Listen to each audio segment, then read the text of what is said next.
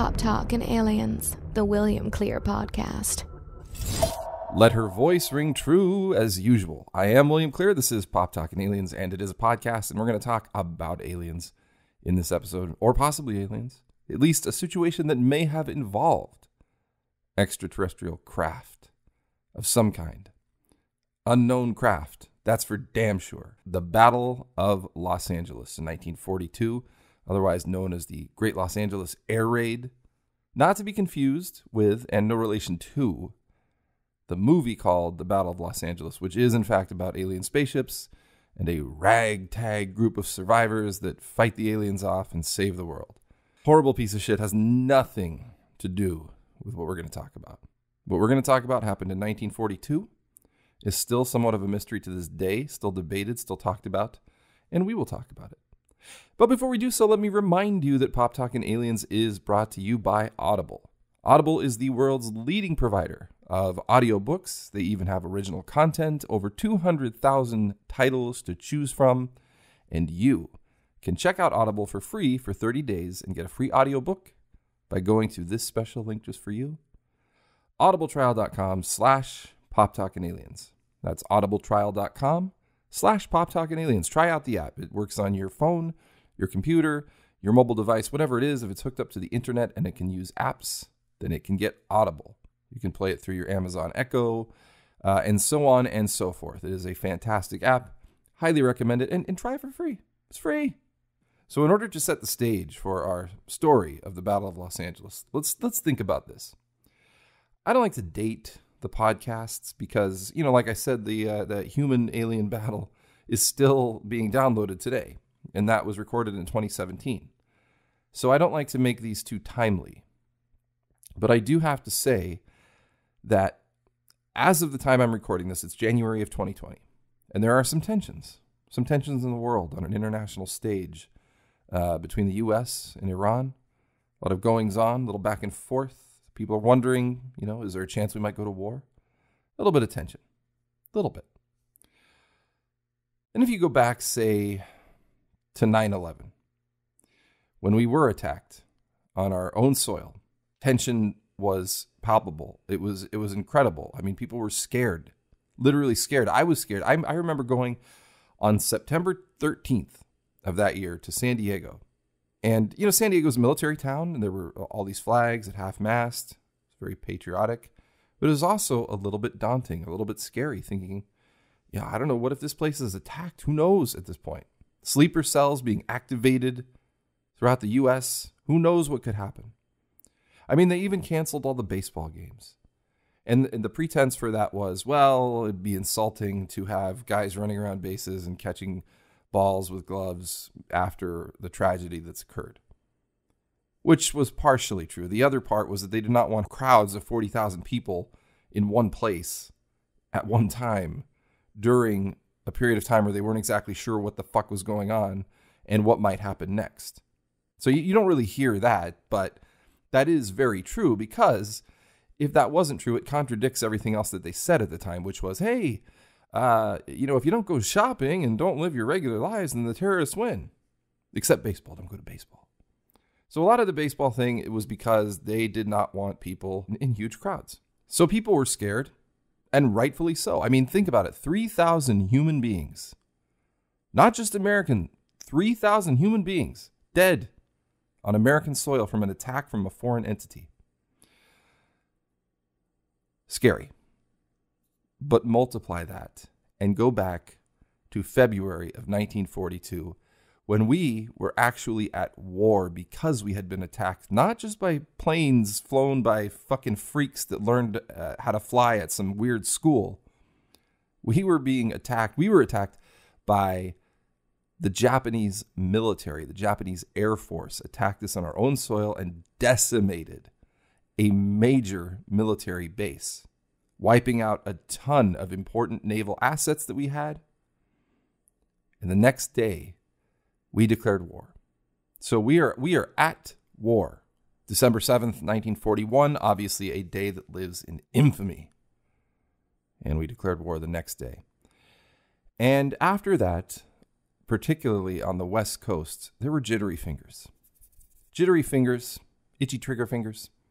Uh, Japanese submarines were said to have been patrolling the, the western seaboard of our United States. As a result, understandably, there were military personnel here on the. I'm on the West Coast. So, here, when I say here on the West Coast, that's because I'm here. Here on the West Coast, uh, they were firing at whales, driftwood, shit like that in the sea because if something, you know, something bobs up out of the water, it might be a fucking submarine. And they were right.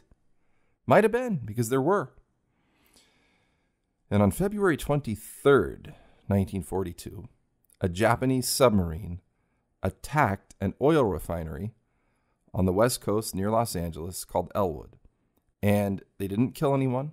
There wasn't a ton of damage. And we did fire back at, you know, this submarine or the location of where we thought the submarine was for about 20 minutes.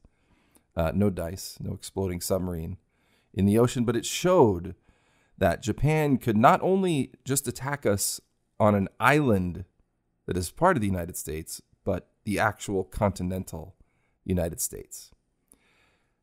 After that occurrence, the Secretary of War, Henry Stimson, now we, we don't have a Secretary of War now, thankfully, because it would kind of be a dead giveaway. Like I was talking about the Iran tensions, like if there's, you know, something where they said, and now the Secretary of War is going to speak, I think it would be kind of a, a giveaway that we were going to war. But in 1942, we were at war, so it stands to reason that we would have a secretary of it. And that man was named Henry Stimson. And he came out and said, after this submarine attacked this oil refinery, be prepared because there may be other attacks. The stock market went to shit. There were blackouts. People were afraid. And over the next uh, several hours throughout the day, things kind of calmed down. We went back to uh, I think code white was the was the uh, status of like you know things are okay for now. But then, late in the evening of the 24th slash early in the morning of the 25th, three radars picked up an object about 120 miles off the coast of LA, floating towards the City of Angels. Numerous eyewitnesses reported a large lozenge shaped object floating in the same direction. Now, why they picked lozenge to describe the shape, I, that's probably because of the 40s. I mean, do we even have lozenges anymore? I guess we do. I don't think that, but I can't imagine anyone would use that as a measure of shape in 2020, but whatever. It doesn't matter. They said lozenges. It's fine. That's what it was shaped like. It was shaped like a lozenge, and it was floating towards Los Angeles. Now, radar, as I said, picked up the something floating as well. And radar at the time, though, was, uh, as described by the military, was wildly inefficient. It was very new, so they didn't necessarily trust what was coming up on on radar. But there were people were were calling in, were calling into you know government offices saying, for for the love of God, we're being attacked. There's some sort of blimp. There's some sort of spaceship there's some sort of something. It's a Japanese bomber. It's whatever it is. You know, the accounts of what this thing was vary wildly throughout the eyewitnesses. Now, some say there were tens of thousands of eyewitnesses. Some say that there were 200,000 or whatever. Let's just say, for the sake of this story, let's let's let's assume exaggeration as there usually is. Let's just say thousands, thousands of people that reported specifically this lozenge floating through the, the air. One of the witnesses said uh, specifically, this was a, a woman air raid warden. She said the object was huge. It was really enormous. Stop it. Stop it. I know what you're thinking. Just clean it up. Clean it up. Start over. And I quote The object was huge. It was really enormous. It was practically hovering right over my house. I had never seen anything like it in my life. It was just hovering in the sky. It hardly moved at all. It looked like a lovely pale orange and was about the most beautiful thing I have ever seen. And I could see it very good because it was really close. It was enormous. Another witness said, I will never forget what a magnificent sight it was, just gorgeous, and what beautiful colors. And that's important because not only was it reported, you know, by people as, as this lozenge shaped thing, it was also reported by many to have an orange hue around it. an orange color. Some people even said it was like a, a giant pumpkin floating through the space. But one thing that was agreed upon was that it was enormous. Now, the military, considering everything that was happening, very understandably, was not going to waste a minute of fucking time. They got their surface to air artillery prepared. They put up searchlights to try and find whatever this thing was or things, because people also reported multiple things, and blow the fucking shit out of the sky, whatever it is. So the searchlights were up, things were ready, they had their gunnery prepared, and uh, the officer in charge said, You're at code green, which meant fire away, boys. Because that's how they talked in the 40s. Fire away, boys. And they did. They started firing into the sky at nothing that they could see for well over an hour. And let me tell you something very important that's going to come up later. They were firing 50 caliber rounds into the sky. Now, I am not a firearms guy. I, I don't know much about it. I don't know, you know, outside of my experience with Call of Duty, I don't really know what kind of bullets and stuff do what. So I did some research and I saw someone demonstrate what a 50 caliber round can do. And this guy showed this was this was on YouTube. He shot this 50 caliber through eh, from a, a long distance, from very far away, shot it through a steel plate, through a watermelon, and into a concrete brick, which it fucking annihilated and turned into a pile of rocks. Through a steel plate, through a watermelon, into a concrete block, pile of rocks. Important to remember. Because they fired over the course of over an hour 1,400 rounds of these things into the sky.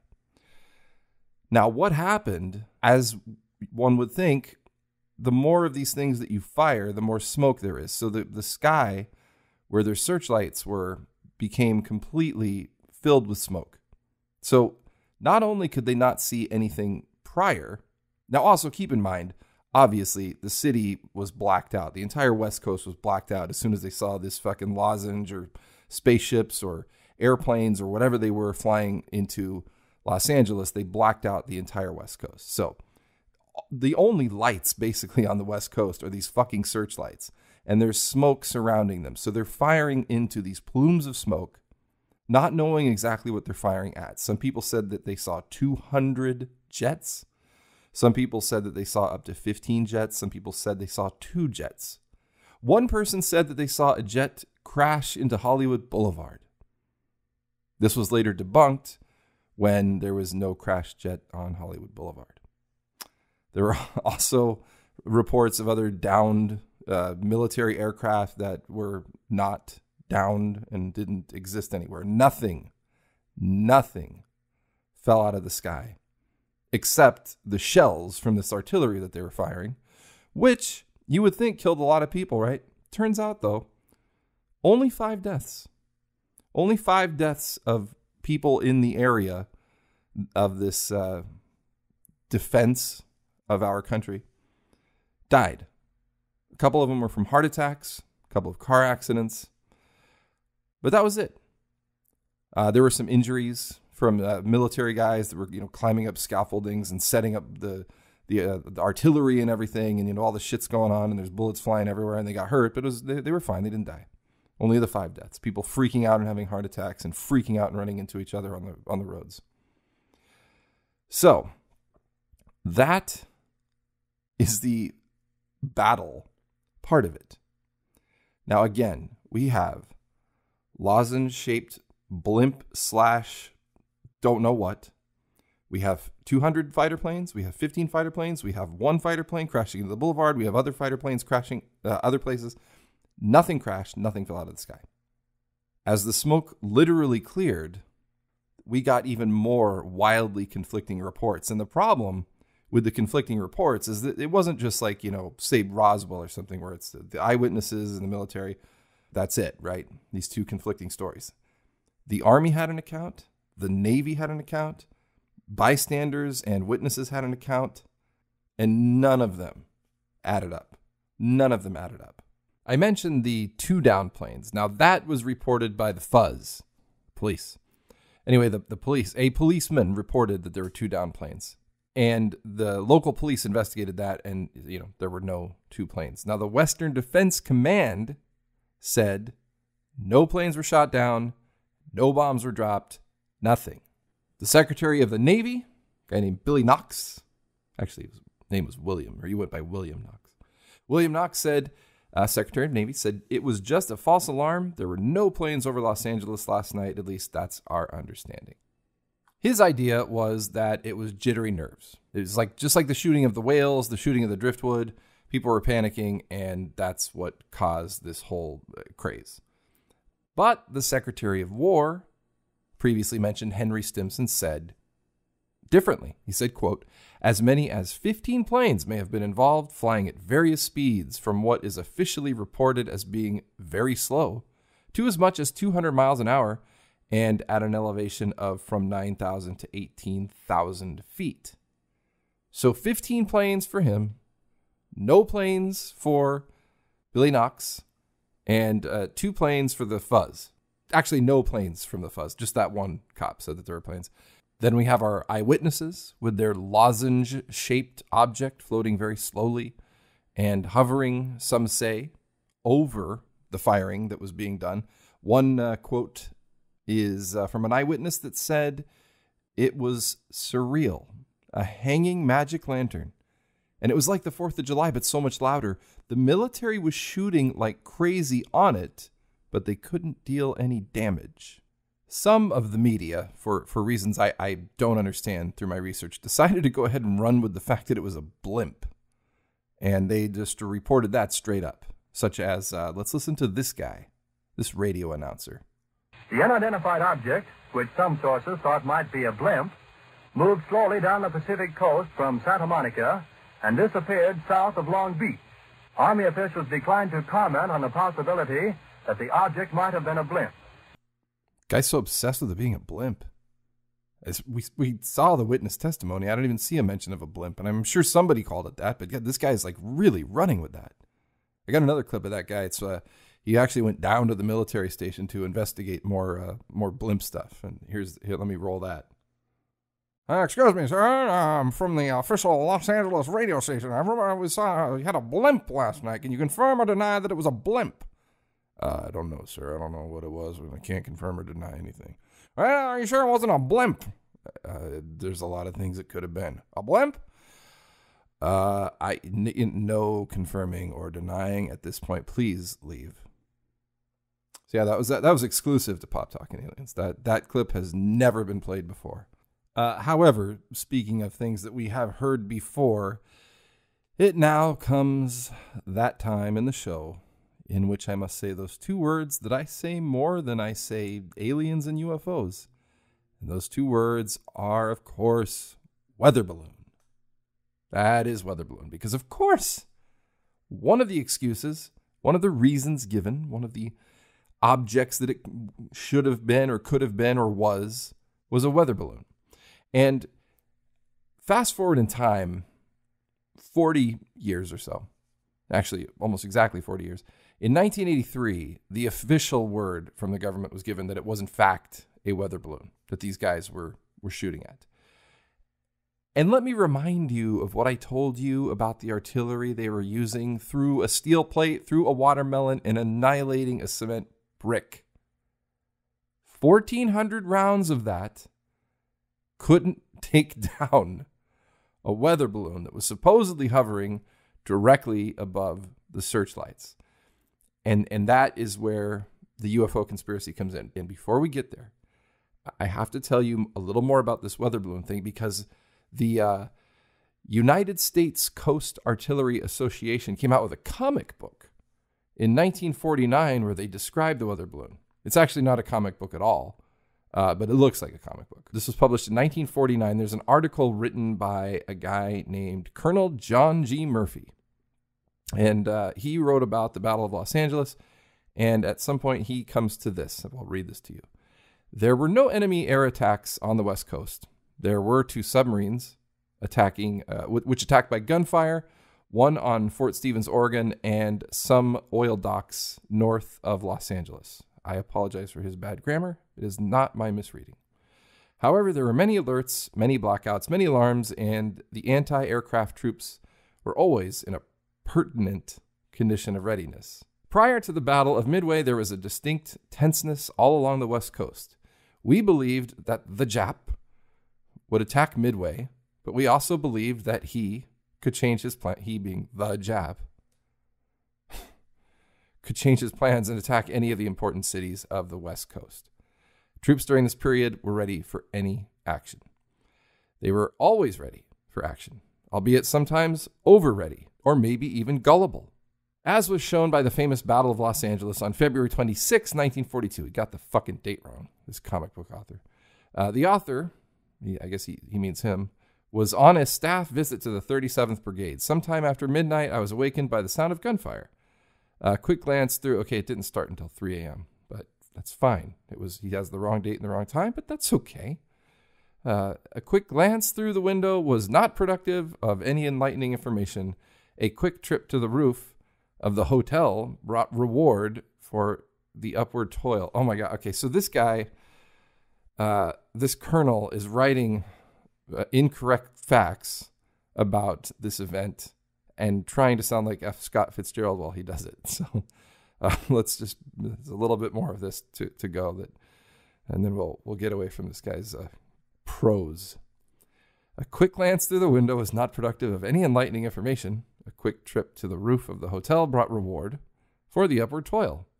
It was a beautiful moonlit night, but the moon's magnificence was, magnificence was dwarfed by the brilliant glare of 90s and 3 inch spewing fire to the heavens. This is, I'm reading it verbatim, okay? The glare and the noise of the bursting shells, the delicate sky tracery of red and green, 40 millimeters and 50 calibers arching lazily through the skies, and the brilliant incandescence of the searchlights probing the heavens hither and yon, up and down. A beautiful picture, a grand show. But at what were they firing? Imagination could easily have disclosed many shapes in the sky in the midst of this weird symphony of noise and color. But cold detachment disclosed no planes of any type were in the sky, friendly or enemy.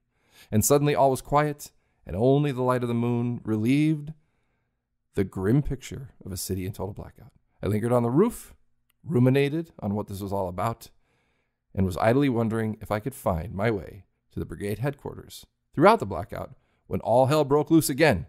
A cacophony, a cacophony of sound and glaring brilliance again pervaded all. But soon it was over, and quiet and darkness again descended on the awakened day. On my way to the brigade headquarters next morning, screaming headlines in the morning papers told of the many Jap planes that were brought down in flames. At brigade headquarters, there was much gloom.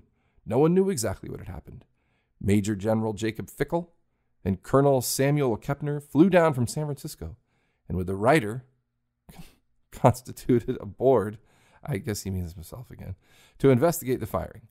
We interrogated approximately 60 witnesses, civilians, Interrogated them. Nice. This guy even fucking admit this is my favorite author ever on Pop Talk and Aliens. Uh, Army, Navy, and air commissioned and enlisted personnel. All right, so but you get a good idea of what you know what I just talked about, told by a, a, a guy who thinks he's some sort of uh, Pulitzer Prize winning author.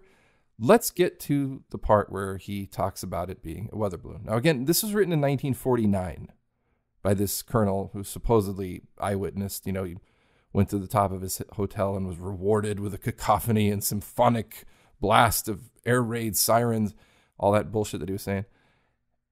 But he concludes that it was a weather balloon in 1949, years before the actual official government saying that it was a weather balloon. This guy, comic book guy, said that it was a weather balloon, and uh, he says it.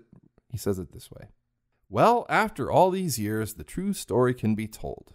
One of the AA regiments, we still had regiments, sent up a meteorological balloon about 1 a.m. That was the balloon that started all the shooting. Now, let me just go back and be a little nitpicky and say that he was awoken just after midnight to the sound of all the firing. And here he says that the weather balloon wasn't even released until 1 a.m. Plus, he got the date wrong. Just saying. That was the balloon that started all the shooting. When quiet had settled down on the embattled, quote, city of Los Angeles, a different regiment, alert and energetic as always, decided Met data was needed. And he put Mets in quotes. I don't know what that means. Neither do you. You probably do. You're smarter than me. Uh, felt it had not done so well in the battle and thought a few weather corrections might help, so they sent up a balloon and hell broke loose. Again, note both balloons, as I remember, floated away majestically and safely. Now, uh, that is part of his ridiculous writing that I skipped. He did say that the the balloon that he saw floated away majestically and safely. So that's also what uh, eyewitnesses said. The, the lozenge people, they also said that this thing, you know, floated slowly over and it just hovered over that attack for a while and it just kept going. Most people said uh, headed towards the, you know, the direction of Mexico. So again, this thing withstood however many rounds. You know, they fired 1,400 rounds of 50 caliber ammunition. Who knows how many actually hit this thing and didn't pop it? Uh, but nevertheless, eyewitnesses and F. Scott Fitzgerald, Colonel F. Scott Fitzgerald here, said that once all the smoke had cleared, the thing just kept flying majestically on, uh, as he says. So uh, he then says the inhabitants of Los Angeles felt very happy. They had visual assurance that they were well protected, and the AA gunners were happy. They had fired more rounds than they would have been authorized to fire in 10 peacetime years. Many changes in units and personnel occurred, uh, and then he goes on about Pearl Harbor. Okay. So he says that he woke up on the date that it didn't happen, at a time that it didn't happen. And then he goes on about cacophony this and symphony that, and how his toil up the hotel stairs was rewarded. Let me tell you something. This guy, according to this thing, is a colonel or a retired colonel. Him walking up hotel stairs is not a toil. Now, if my fat ass has to walk up hotel stairs, that is a toil. That is toiling. And yes, I better be rewarded with a cacophony of sound and a, a symphony of lights. Now, the, the reason I read from this guy is because from everything I found, he is the only, you know, so-called witness that wrote extensively about it. And when I say so-called witness, it's because he was apparently there at the wrong time and on the wrong day. But nevertheless, we'll forgive him that and assume that he's not lying and that he was there and he did witness all of this. He's the only person who claims that there was a second barrage of fire and a second balloon, quote unquote, second object. It's important that we know about that second balloon slash object report. And it's nowhere else. It's I, I just could not find it anywhere else. And believe me, out of respect for you, my dear audience, I do not skimp on the research. Okay, if I see one thing, try to corroborate it somewhere else. But apparently, just this guy is is the person who saw two balloons. The other thing that I find interesting too in his writing is that he uses the word interrogate. We interrogated 60 civilians who saw the lozenge or whatever they saw. And, you know, based on the way this guy writes, he certainly fancies himself some sort of commandant of the King's English. So one would assume that he knows what the word interrogate means by strict definition. And what that is, is, according to the Cambridge Dictionary, which he is, of course, familiar with, interrogate is to ask someone many questions in a formal situation in a forceful way that can be seen as threatening. So maybe he just didn't read the second part, the way he didn't bother to check his calendar to see when he was uh, there watching this whole thing unfold from the comfort of his hotel room and his hotel roof, which he toiled up to get to. The third reason, uh, the second reason I, I, I wanted to read that is because it's hilarious. And the third reason is because it's one of the things that is sourced on Wikipedia. And I do not use Wikipedia to research UFO articles and stories for this podcast. I don't use Wikipedia because, for one thing, I don't want someone else's interpretation and I don't want to sit here and read you a Wikipedia page. The idea of me telling you the stories is that you're going to get more than you'd get on Wikipedia. And the other thing is that they they always take the official party line, no matter what it is. Any sort of UFO occurrence, whatever the ex- excuse or reason or official reason or a statement is at the end, that is where Wikipedia closes the book. But they do have interesting source material at times. So I will always go check Wikipedia for whenever these subjects come up and go straight down to the source material. And in that source material, I found this article, this comic book, whatever it is. It's up. I will put a picture of this thing on our uh, Facebook page and our brand new Instagram page so that you can see it and you can see why it, you know, to me looks like a comic book. You know, along with all this flowery English that he uses, he throws in the Jap. Like I know that that's how they talked back then, and you know certainly they didn't have the kind of filters that uh, we know today.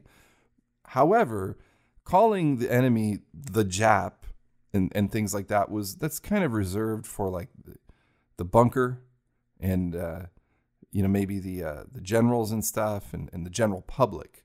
But this guy coming out to write this uh, this masterpiece, y- you think he'd refer to them as the enemy or something. But I, I don't know. I, enough about this guy.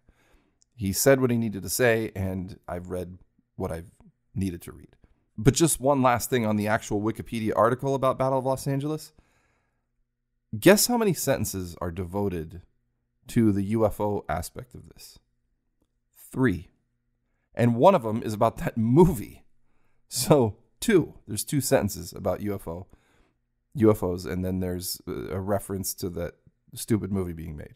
Apparently, also the movie 1941, the Spielberg, uh, I think John Belushi movie, also has to do with the Battle of Los Angeles. I saw it maybe when I was seven or something. I don't remember.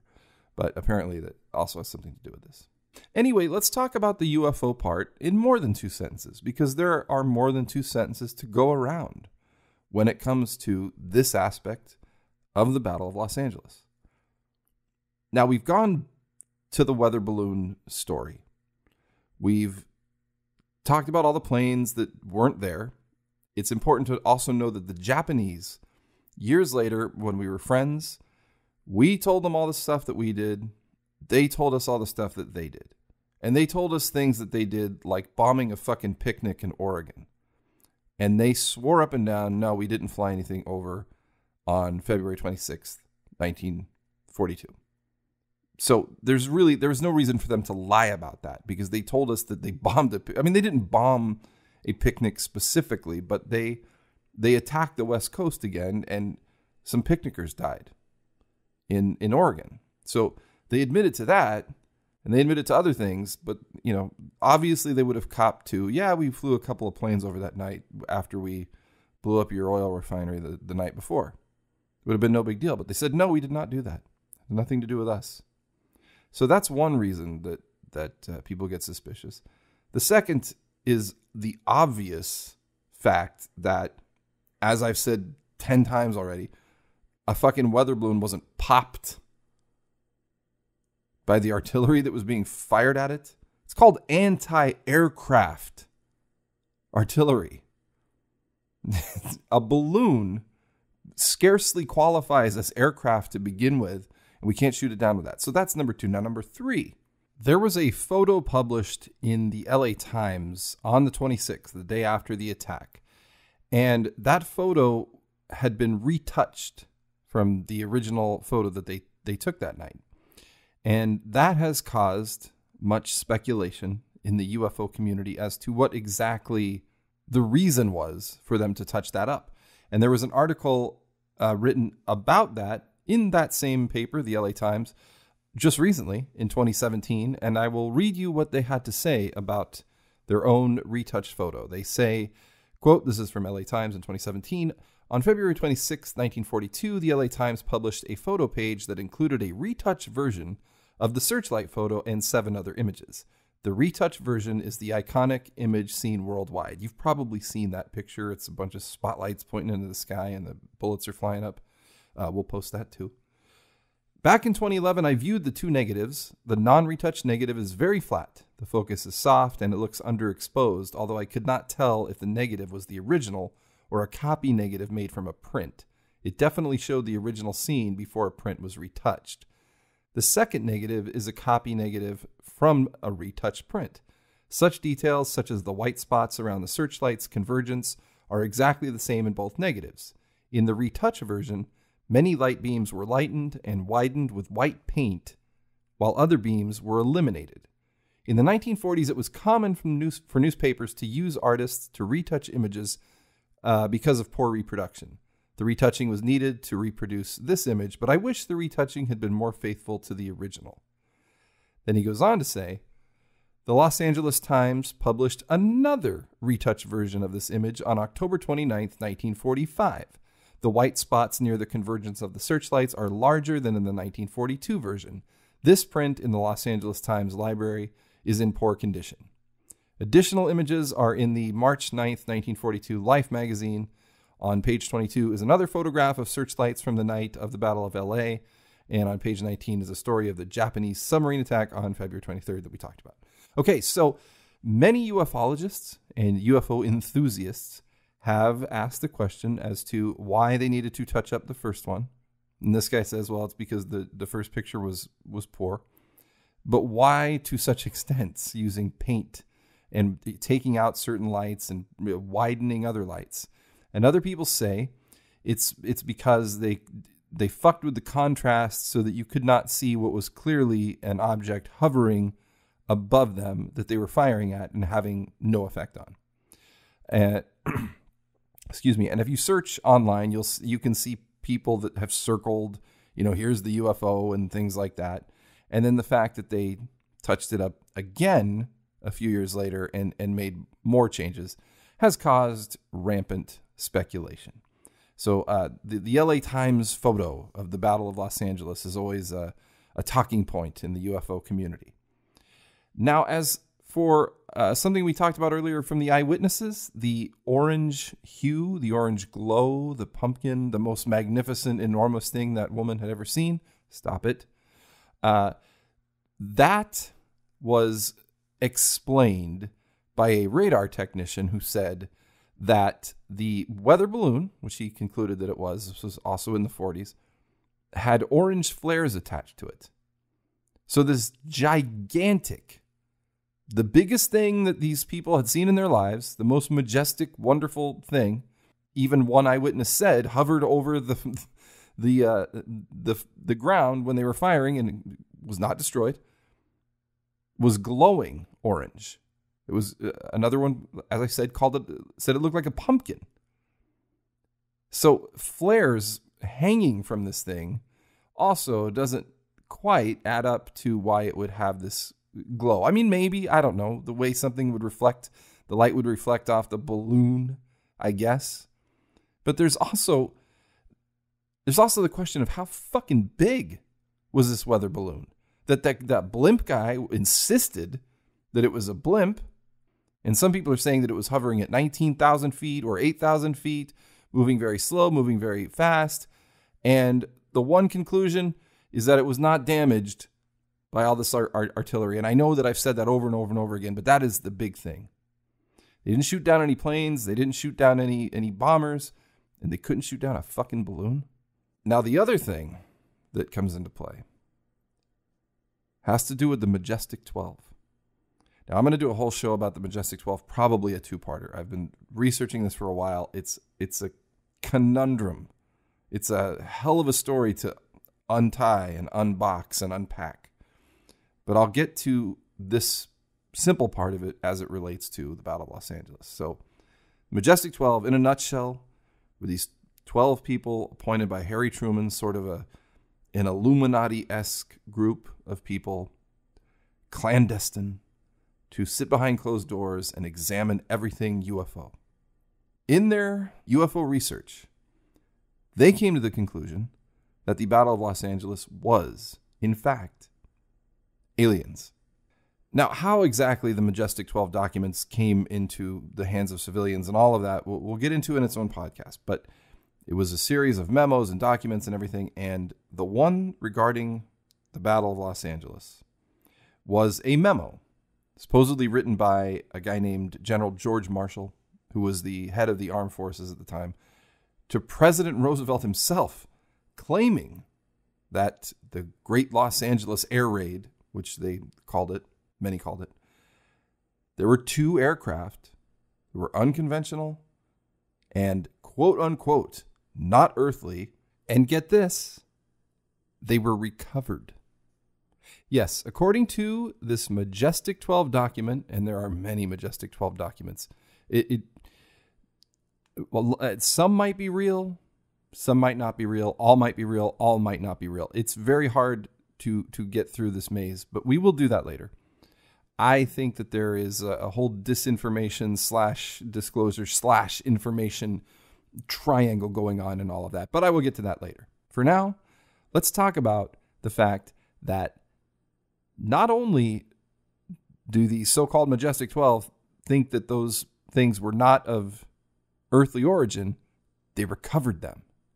So I have in front of me a very smeary uh, PDF that's uh, taken from a Majestic 12 document, a, a copy of it. And what I can make out from it is this. Regard, it's written by a guy named George C. Marshall, who was uh, head of the armed forces at the time, and he's writing directly to President Roosevelt. And he writes, this is just a couple weeks after the thing. Uh, regarding the air raid over Los Angeles, it was learned by Army G2 that Rear Admiral Anderson recovered an unidentified airplane off the coast of California with no bearing on conventional explanation. And then there's stuff that is unreadable. This headquarters has come to the determination that the mystery airplanes are, in fact, not earthly, and according to secret intelligence sources, they are, in all probability, of interplanetary origin. As a consequence, then there's more black stuff. As a consequence, I have issued orders to Army G2 that a special intelligence unit be created to further investigate the phenomenon and report any significant connection between recent incidents and those collected by the Director of the Office of Coordination of Information. And then there's some file number stuff and, and more black stuff. And then uh, it says Interplanetary Phenomenon Unit, which is, is typed on it. So I I don't know if they recovered both of these things, but they do say that they recovered one craft that was much like the craft that floated over Los Angeles. And if I may be conspiratorial, as is my job, let me say this, let me make this connection. Bob Lazar, when he talks about having worked at S4, he always says that there were numerous flying saucers. And, you know, one of them may have been the Roswell one. Who knows? His theory, and it is just a theory, as he says, is that they came from some sort of archaeological dig. I have always wondered if there are numerous flying saucers that we have in our possession or have had in our possession or whatever, how we got them. If they recovered one of these things, if this really was a flying saucer, and they recovered at least one, possibly two. Then you throw in Roswell, and then the you know the other stories that, that we've talked about and, and will talk about in the future. They start to add up, and then that idea starts to make sense. That you know slowly but surely we kept recovering these craft and hauling them off to this secret location in Nevada to be examined and reverse engineered and everything. But a lot of people really subscribe to the idea of the Majestic 12. And that memo is one of their many smoking guns. As a matter of fact, pretty much everything in the Majestic 12 documents is a smoking gun. It's a pile of smoking guns. There's more smoking guns in the Majestic 12 than there were on the ground firing at the thing in the air in the Battle of Los Angeles. So, you put that together with the photo, you put that together with the eyewitness testimony, you put that together with all the inconsistencies, and you got yourself a UFO story, my friend. So that leaves us with an open door, my friends. An open door to speculate about UFOs, which is much better than speculating about you know what that I talked about earlier in the show. Now, the logical and reasonable question comes up as to what the fuck does a extraterrestrial spacecraft care about what's going on in Los Angeles in 1942? Well, it ties back to a recurring theme that's come up in ufology and on this show many times, which is UFOs spotted near areas that are military, areas that have nuclear capability, areas where there is possible conflict. This has happened and been reported time and time and time again. Over the years, over 75 high ranking military officials have reported UFOs over military bases and areas of potential conflict over the years. Now, that's just the reports. 75 of them have just reported that. God knows how many have actually witnessed something like that.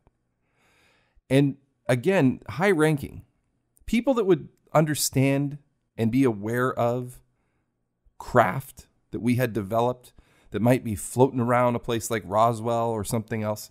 Uh, you know, similar types of military bases. Jesse Marcel in Roswell was a high ranking intelligence officer who claimed that he was well aware of the technology that we had and, and didn't know what the fuck happened at Roswell. There were other military people at Roswell that said they saw flying discs prior to the actual crash. This has been reported time and time and time again. So, why is it that this happens? Are they are they monitoring us? Are they trying to prevent something? Are they trying to get in on the action? Do they just want a little bit of the show? Or are they just is it just a fucking coincidence? Or they're military craft of some of some kind? My question in this is that if these are all these secret military projects and, and craft that we're unaware of and that the 75 high ranking officers are unaware of, and Jesse Marcel and everybody are unaware of these military projects that are that just so happen to be hovering over military places and military activity. Why have we never used these things? Why are there never been, at some point, flying discs that we have used in some sort of conflict? We're in 2020. These things have been spotted since fucking the 40s. Why have these things never been used? I mean, you would think that if the government had developed a flying disc that could maneuver in the way that flying discs and flying saucers have always been reported, you think they would have used them by now, that they would have perfected whatever the fuck it was that they were working on, that nobody ever knew what it was, but it was always hovering around military bases.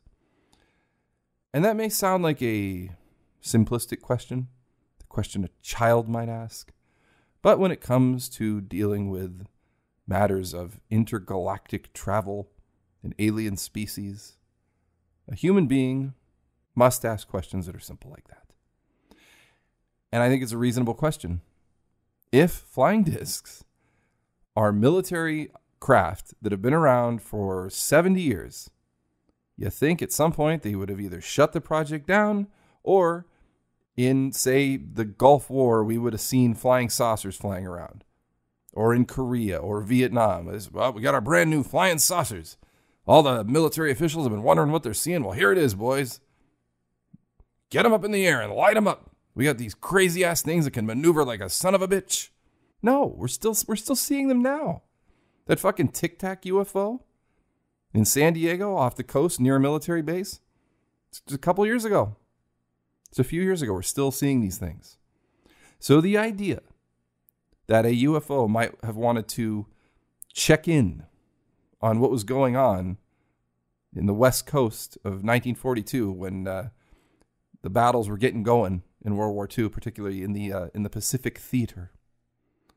It's not it's not completely unreasonable to believe that.